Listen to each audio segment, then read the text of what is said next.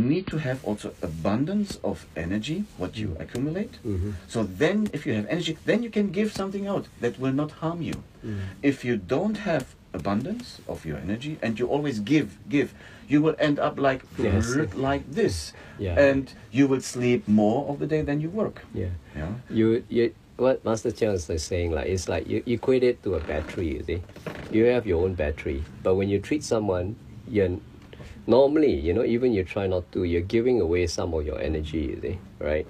So if you keep giving away your energy, your battery will run flat, right? So you must have a means of charging your own battery, you see? and this is where the qigong practices come in, you see, right? And another thing, and I've seen this happen often enough, you know, for people, especially those who do energy healing, right? There are some people who are energy, what we call energy vampires, right?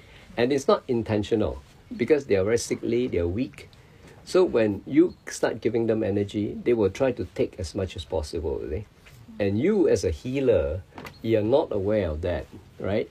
Or you don't feel it, they can drain you, right? So as a healer, you also need, that's why you need to understand, yeah, all these energy arts, how you can protect yourself, you know, uh, with some sort of shield, and also you need to replenish your own energy supply, right? So that's why the, uh, if not the martial arts, but at least the qigong practices should be part of your you know repertoire you know if you want to be a healer. I certainly feel strongly about that. Okay when i was studying the arts uh, the concept of lines of force or strings like you know uh, in hokkien we call it xian right? Which means strings yeah. Yeah was often mentioned like you know oh connect the string to your fingers to your hands and so on you see. But all that was quite mysterious to me until much later on i think about maybe 10 years ago i discovered the work of tom myers okay? Uh, he's a physiotherapist who created a new theory on how you should look at the human body you see. And, yeah and fascia you know. So his uh, technique or his uh, discipline is called anatomy trains.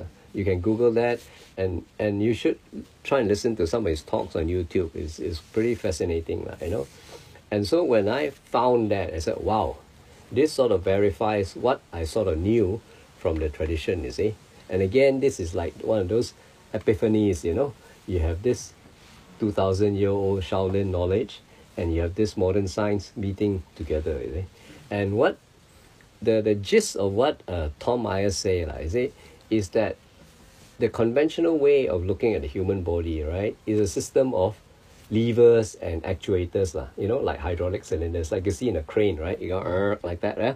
It has a lever, it has a hydraulic cylinder. And that's how most of the time they look at how the human body works, right? You have the skeleton and your muscles, you see. But he turned it the other way around. He says, no, you see, it's not about solid, you know, what they call rigid structures and, uh, you know, flexible structures. The whole thing is working together in unison, you see. It's one unit, it's not separate units. And he termed that term tensegrity. And that is actually an engineering term borrowed by, from, you know, Buckminster Fuller, the architect who invented the domes and all that. So he was the one who first popularized the form, uh, the the idea lah, and the concepts and the structures using tensegrity, where you have tension members, that means stretchy parts, and the compression parts, meaning the rigid parts. You see, so one way to think about it is a ship's mast, right?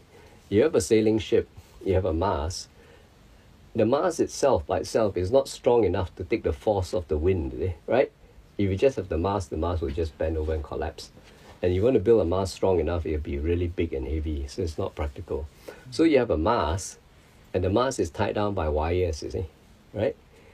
And so it's the wires that help the mast take the load of the sail, see, right? So it's a combination of rigid structure, which is the mast, and the wires, which are the pulling structures, the tension structures, right?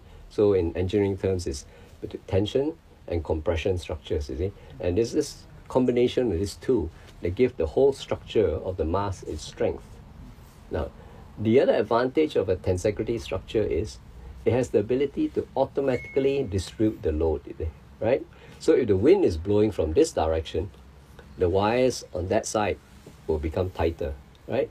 But if the wind changes direction, I don't have to adjust anything. You see, the structure take care of itself. You know, so then the tension on the wires on this side becomes tighter. You see, so he postulated that the human body works like that. So if I apply force here, the force is not only here and doesn't only affect my triceps, but through the fascia and the tendons, it's actually distributed through the body. That's why I can, when somebody pushes me, I can ground that force, you see, because I'm making use of all the different connections between the different parts of the fascia, the tendon, and the joints to actually direct the force down to the ground. See? So that is what the concept of strings is about. Now, according to, uh, well, I mean, modern studies now, the whole field of fascia science is only about maybe no more than 20 years old. Okay? Before that, uh, anatomists, doctors look at fascia as dead tissue, you know. It doesn't serve any purpose. It's like fingernails, you know. It's dead tissue. But recently, the last maybe 10 to 15 years, they found that fascia is such an interesting material, eh? eh, living tissue within the human body because it can act like a solid, it can almost act like a fluid, you see. So the fascia allows firstly the muscles to flow across each other, right? That's why bundles of muscles are wrapped in fascia. Okay, so it allows the muscles to slide across each other without friction. But sometimes when your body is traumatized, the fascia can grow thicken, can thicken, and they become like Velcro, you know, yeah, and they stick together in layers and they become like cardboard. That's why you get that stiffness, you see. So that's why you have techniques like Rolfing, which do deep tissue fascia massage, and what that does is to loosen the hooks between the layers of fascia and to make it flexible and flow again. And again, the other thing with recent fascia research has shown that fascia actually have nerve endings and receptors, right? So, and one of the key things that fascia has is the nerve endings. The what it serves is they are the receptors for proprioception. That means that they allow you your brain to know your position of your arm or different parts of your body in space. You see? So that is what proprioception means. You know, you can close your eyes and know, ah, my hand is here. I know where to reach for my cup, right? So there's this ability to sense your own body in space is partly due to the receptors in your fascia. So the fascia plays a more important role than what they used to think of before. And the incredible thing is the fascia exists throughout the body. Even in you know in your liver, your liver is just a mass of soft cells, you know, and it's a network of fascia that gives it the shape. You take away the fascia and the liver, the all the liver cells just go bloop, you know, it's like a lump of jelly. So it's fascia that gives your body structure, right? And that's what the strings are. So in the strings, we learn to connect the different parts of the fascia, tendons, and muscles together to create those lines of force. But if you cut open the body and you do the dissection, there's no single thing that you can call a string. So it's a it's a composite. It's formed out of the different parts of the body. Okay?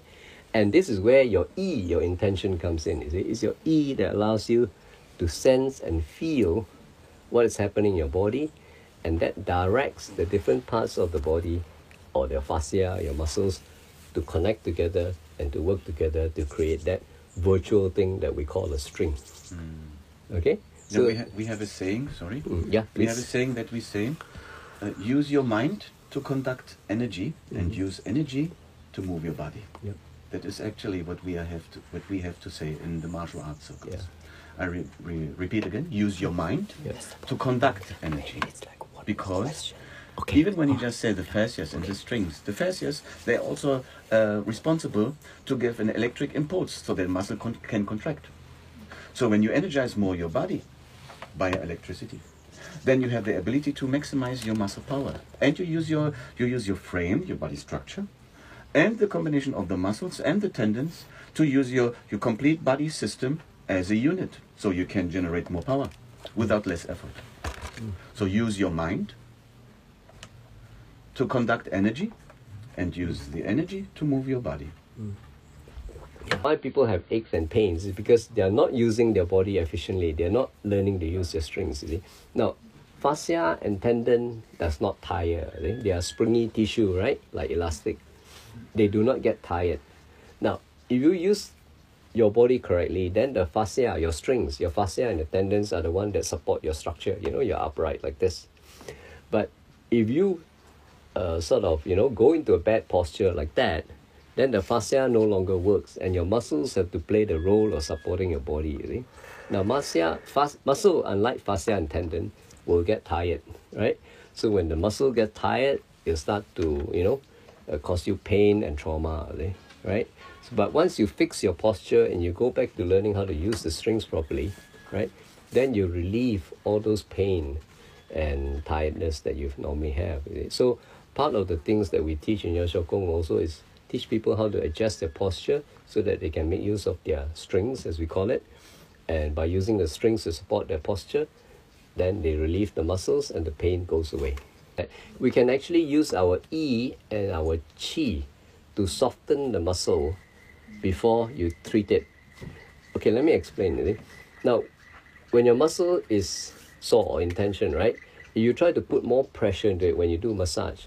It's natural for the body to resist and fight back, you see, right? So when it's already tense and you put pressure on it, it becomes tense, more tense. And as a result, you have to put more force, you end up using your elbow, you know, and things like that. Mm. And yes, you might be able to loosen the, the muscle tension, but it causes trauma to the patient as well, you know, right? You end up having pain from the massage, not just the injury. But what we have found out is that when you put E to your fingers, you can actually use this E to soften the muscle and tell them, look, don't fight. I'm trying to heal you, you know. And when you do that, the muscles actually soften and you use less force to enter and treat the patient. You know?